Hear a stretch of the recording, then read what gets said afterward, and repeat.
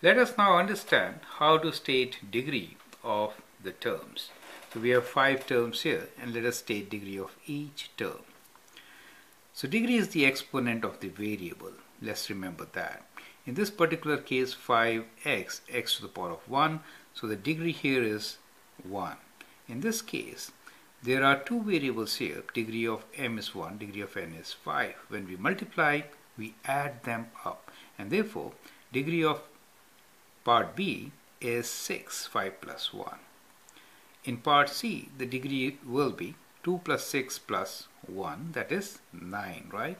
Now, what is the degree for minus 7? Now here, you can think about a variable x to the power of 0, right? Anything to the power of 0 will be 1, and therefore, degree of minus 7 will be 0. Degree of 0.5 will be also 0, right? So degree of constant is always 0. Remember that part, okay? Think constant as, let's say 0.5 as x to the power of 0. Anything to the power of 0 is 1, okay? So that gives you the degree for a constant. I hope it makes things clear. Thank you and all the best.